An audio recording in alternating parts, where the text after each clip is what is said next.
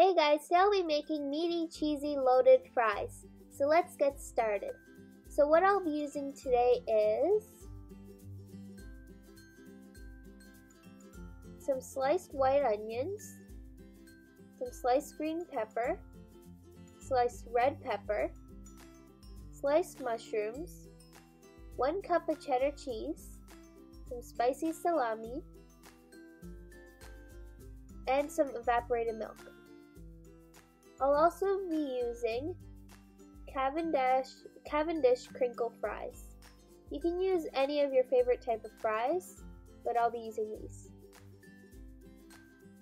Bake your fries according to the instructions on the packet. And then you can leave it aside. Now fry up the salami for a few seconds on each side.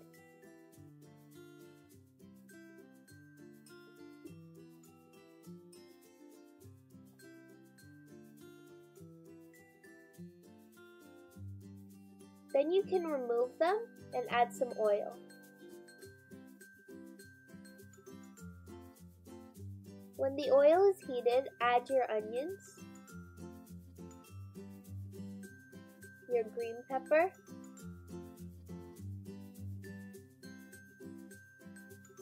and your red pepper, and then fry it a bit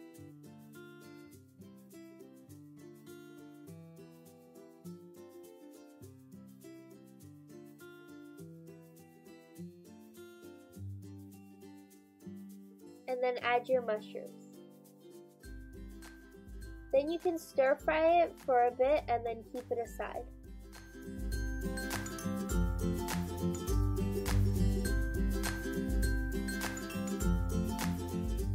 Now we will make the cheese sauce.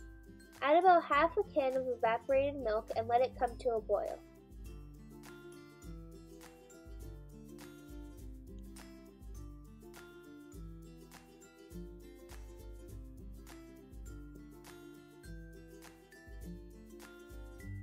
Then add your cheese little by little.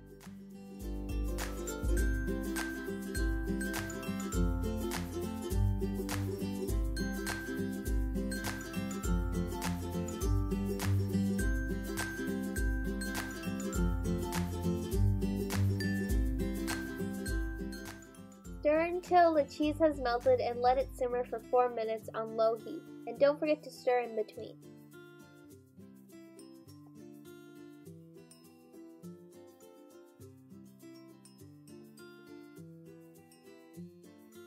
Now you can put everything together.